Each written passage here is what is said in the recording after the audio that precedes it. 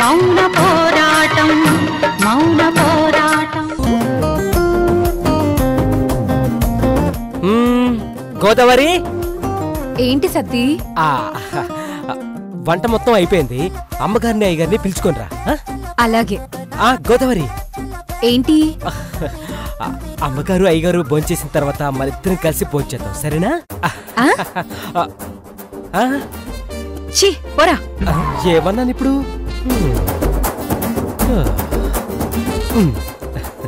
చిన్నయ్య గారు? ఆ ఏంటి గోదారి? భోజనం రెడీ అయిందని సత్తి మీకు చెప్పమన్నాడు. సరే మేం కూడా భోజనానికి వస్తున్నాం. సరే పద వస్తాం. జానకి భోజనానికి రమ్మంటున్నారు. రా. యాండి.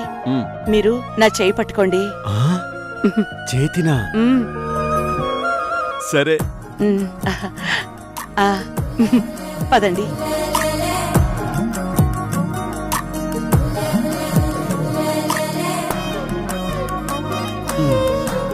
జానకి నన్ను నీ చెయ్యి పట్టుకొని నడవమంటున్నావేంటి? భర్త చేతిలో చెయ్యి వేసి నడిచే భార్యకి గర్వంతో తల పైకుంటుందండి. ఇదిగో నన్ను చూడండి. ఇలాగా. ఓహో అలాగా. అయితే ఇక నుంచి నిన్ను రోజు నిన్ను ఇలాగే భోజనానికి తీసుకెళ్తానన్నమాట ఆ, ఆ, అయ్యో రోజు కాదు. ఓ నాలుగైదు రోజులు అంతే. అదేంటి జానకి? తర్వాత? ఆ తర్వాత కొన్ని రోజుల వరకు మామూలుగానే నడుస్తాం.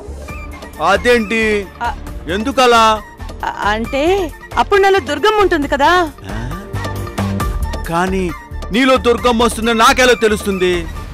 అది దుర్గమ్మే చెప్తుంది. అలాగా.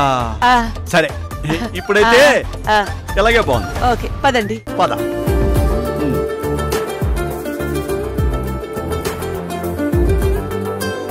రాజానికి. కూర్చో. ఉమ్, కూర్చో. మీరే కూర్చోండి. యాండి సౌందర్య వచ్చిందా? సౌందర్య ఇంకా రాలేదు జానకి. గోదావరి? సౌందర్యని మావయ్యని పిలు. అందరం కలిసి కూర్చుని తృప్తిగా భోంచేస్తాం ఇదిగో అమ్మాయి గారు అయ్యగారు వచ్చేసారు ఆ మావయ్య సౌందర్య రండి కూర్చోండి. అందరం కలిసి భోంచేద్దాం అలాగేనమ్మా.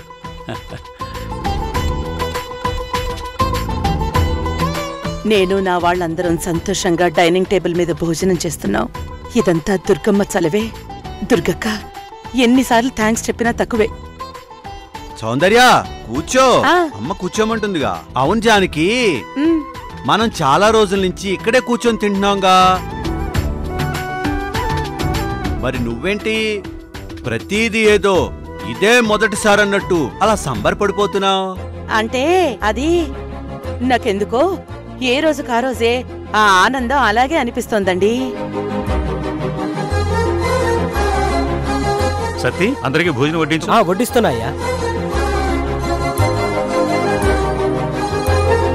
అమ్మా నాకు అన్నం వద్దు.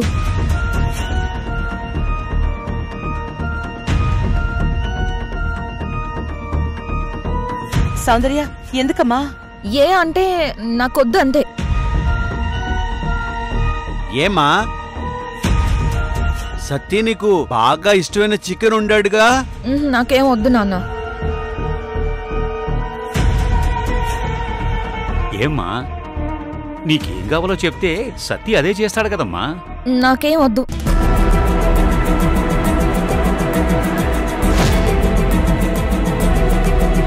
సౌందర్య ఏమైందమ్మా? ఏది వద్దంటే ఏం తింటావు? నాకేం వద్దు. నాకు చదువు కావాలి.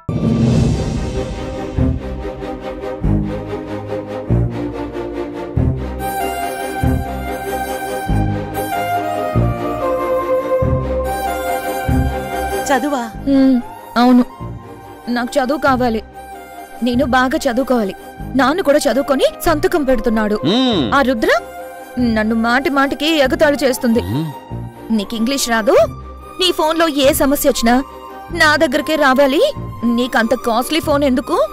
దిష్టి బొమ్మకి డైమండ్ నెక్లెస్ వేసినట్టు అని వెక్కిరిస్తోందమ్మా. అందుకే నేను చదువుకోవాలి. అలాగేనమ్మా. నువ్వు ఖచ్చితంగా చదువుకో. కానీ ముందు భోజనం చెయ్యి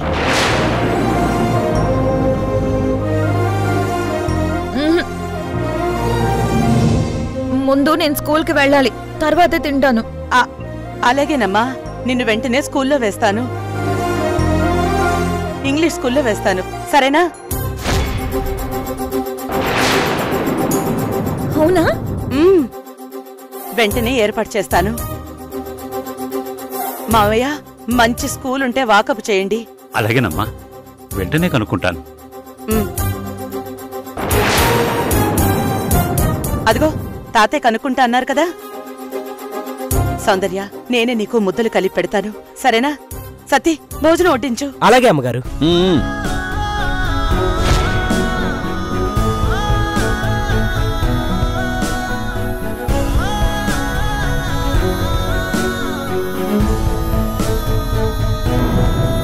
అమ్మా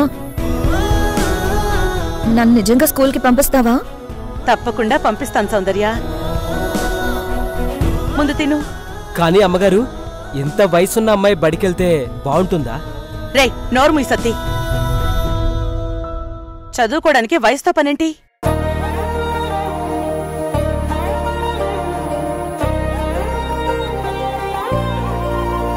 అవును సత్తి చదువుకి వయసుకి సంబంధం లేదు.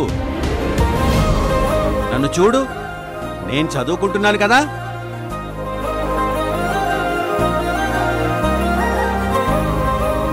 ఆ దుర్గమ్మ తలుచుకుంటే ఏదైనా జరిగిపోతుంది.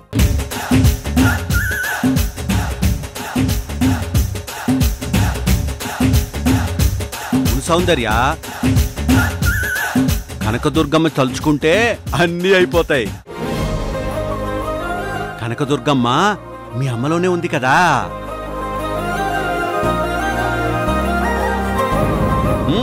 తిను సౌందర్య నీకు నేను తినిపిస్తాను.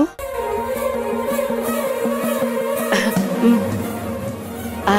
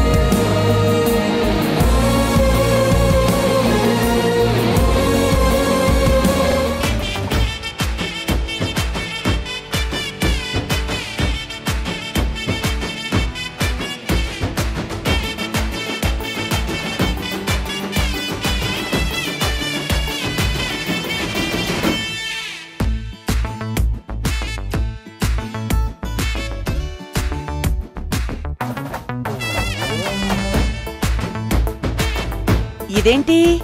నా కూతురు మూతికి మీసం కూడా వచ్చిందా? వాళ్ళ నాన్నలాగా?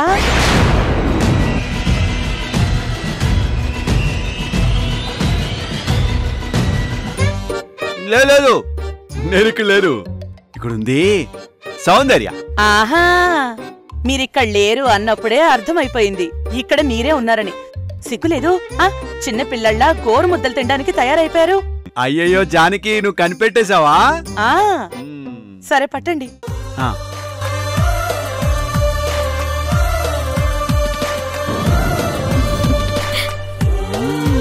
సౌందర్య. అమ్మా. ఆ.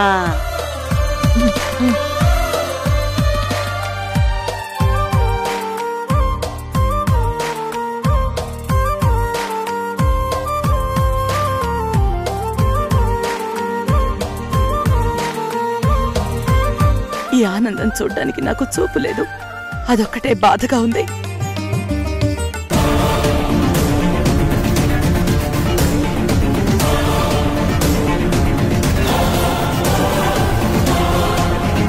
నేనున్నాను. నువ్వు ఉన్నావు ఉంటావు. అంతే. విగ్రహం పుష్టి నైవేద్యం నష్టిలా అలా పడుంటావు కానీ పైకేమి చెయ్యవు. ఎందుకు చేయను? అన్నీ చేస్తాను. మ్మ్, చేసావులే నీ చేతలకి వాళ్ళు చదువుకుంటున్నారు. ఆ నిషాని గడి సంతకం అయిపోయింది. ఇప్పుడు ఆ పనిదాని కూతురు కూడా స్కూల్కి వెళ్ళిపోతుందంట. వెళ్ళిపోతుంది. అది కాని స్కూల్కి వెళ్ళిపోయిందంటే ఇంకా ఈ ఇంట్లో నేనంటే ఉన్న కొంచెం భయం కూడా పోతుంది. నువ్వంటే ఏంటి నేనంటేనే భయపడటం లేదు. ఇక నువ్వెంతమ్మా? ఇప్పుడు వాళ్ళందరూ చదువుకొని మన కంపెనీ వ్యవహారాలన్నీ చూసుకుంటారు. మనం ఇంట్లో పనులు చేసుకుంటూ ఉండాలి. లేదు. అది చదువుకోకూడదు. వాడి చదువు ఆగిపోవాలి. ఈ ఇల్లు మళ్ళీ మన భయం నీడలోకి రావాలి. అలాగే నేను చేస్తాను. నువ్వు చేసావుగా అది చాలు. ఇప్పుడు నేను చేస్తాను చూడు. వాళ్ళకి భయం అంటే ఎలా ఉంటుందో చూపిస్తాను. పరుగులు తీయిస్తాను. మళ్ళీ వాళ్ళందర్నీ మన కాళ్ళ ముందు మోకరిల్లేలా చేస్తాను. అసలు ఇదంతా ఆ జానకి చేస్తుంది. దానికి చూపుండడం వల్లే ఇదంతా జరుగుతుందని నా డౌట్. తీర్చేసుకుందాం. మొత్తం మన డౌట్లు మన బాకీలు ఒకేసారి తీర్చేసుకుందాం.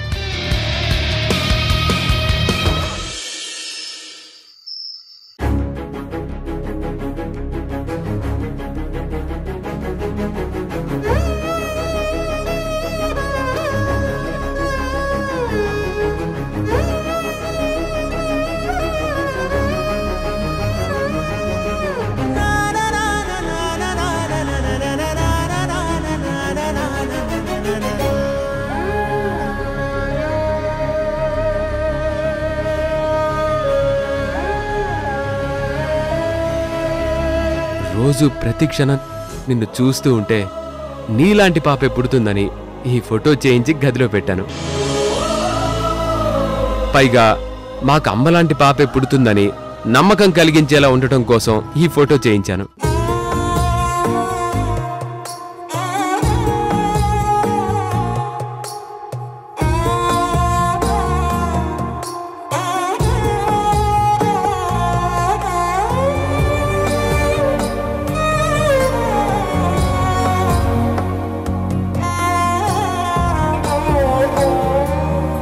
నాన్న తెచ్చిన ఉయ్యాల్లోనే బొజ్జుంటుంది. బంగారు తల్లి. ఓహో. ఆ, ఇదిగో నాన్న ఇక్కడ బొజ్జుంటాడు. నాన్న పక్కన ఈ ఉయ్యాల్లో ఇక్కడ బంగారు బొజ్జుంటుంది. ద్వారకా ఏంటి? ఎక్కడికి తీసుకెళ్తున్నావు వీటిని? అవంతి ఇవి నా కంటికి కనపడడానికి వీల్లేదు. ఈ ఉయ్యాల్ని బయట ఎవరికైనా ఇచ్చేస్తాను. ఫోటోని అమ్మ గదిలో పెట్టేస్తాను. ఎందుకు? ఇవి నా కళ్ళ ముందుంటే పాపే లేనప్పుడు ఈ ఉయ్యాలెందుకు? ఈ ఫోటో ఎందుకు?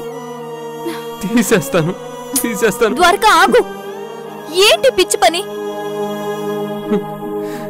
ఇది పిచ్చి కాదవంతి. ఇవి కనిపిస్తే నాకు పిచ్చెక్కుతుంది. పాపలేని లోటు తెలుస్తుంది.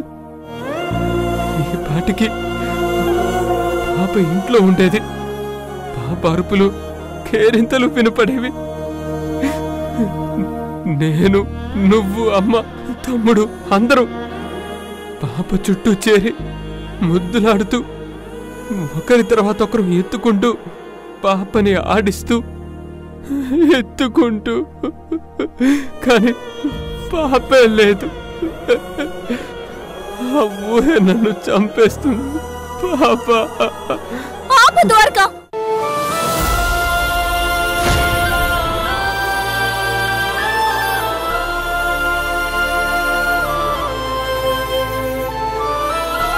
ఏంటి? పాప పాప అని ఒకటే మాట్లాడుతున్నావు? ఎవరా పాప? పాప.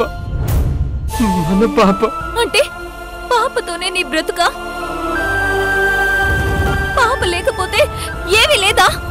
అవంతి. మనం కన్న కల అదే కదా.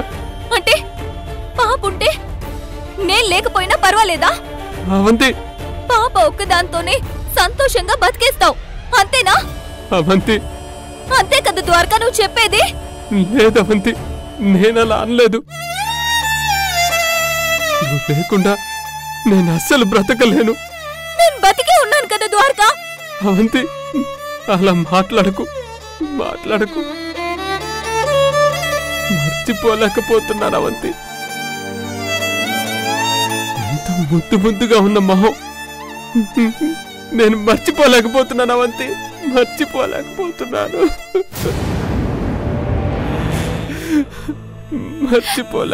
అయ్యో మర్చిపోలేకపోతున్నాను ప్లీజ్ ఊరుకో ద్వారకా. ఊరుకో. ఏడవద్దు. నిజం చెప్పు. నువ్వు సమాధానం చెప్తున్నావు కానీ నీ మనసులో నిజంగా బాధ లేదా? చెప్పవంతి బాధ లేదా? లేదు. లేదు నువ్వు అబద్ధం చెప్తున్నావు. నీలో చాలా బాధ ఉంది. నాకు తెలుసు. నువ్వేంటో నాకు తెలుసు అవంతి అంటే బాధ ఉందని జీవితాంతం ఆ బాధతోనే ఉండిపోతామా? బాధపడుతూ ఉంటే వెళ్ళిపోయిన ప్రాణం తిరిగొస్తుందా? అలా వస్తుంది అంటే ఎవరు చనిపోయినా వాళ్ళ వాళ్ళు బాధపడుతూనే ఉండేవాళ్ళు కదా. అయినా మనం ఇలా బాధపడుతూ ఉంటే మనల్ని చూస్తూ అత్త ఎలా ఉంటుంది ద్వారక? మురారి ఏమవుతాడు? మయూరి ఎంత బాధపడుతుంది?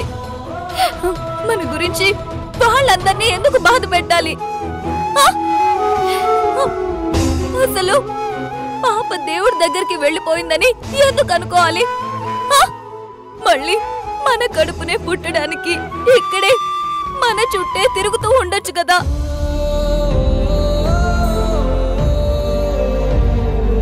అంటే పాపం మళ్ళీ? అవును ద్వారక. మన పాప మళ్ళీ ఈ కడుపులోనే పెరుగుతుంది. ఆరోగ్యంగా పుడుతుంది.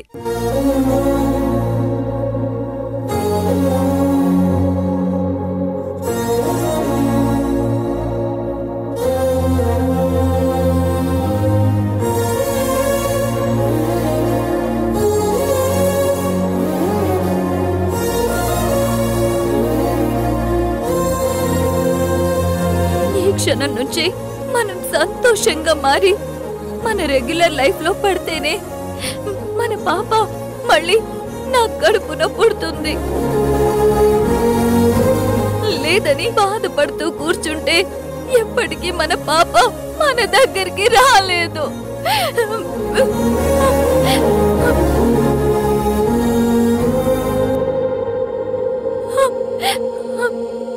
లేదవంతి నువ్వు చెప్పేది నిజమే. పాప ఎక్కడికి వెళ్ళదు? మన చుట్టూనే తిరుగుతూ ఉంటుంది. లేదు నేనింకా బాధపడను. నువ్వు కూడా బాధపడకు. మనం ఇదివరకులా సంతోషంగా ఉందామా? అయితే ఈ ఊయల తీసుకెళ్ళి అక్కడే పెట్టే. ఈ ఫోటో తీసుకెళ్ళి అక్కడ తగిలించు. పెట్టేస్తాను. మళ్ళీ మనం ఈ ఫోటోనే చూస్తూ ఉందాం. పది నెలల తర్వాత ఇదే ఉయ్యాల్లో అదే పాపని పడుకోబెడదాం. సరేనా? అలాగే ఆ. అలాగే.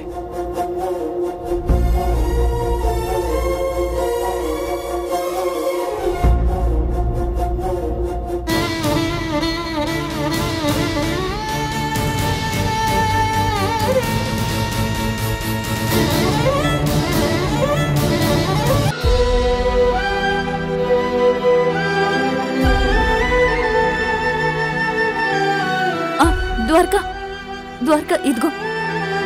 ఈ పాలు తాగు.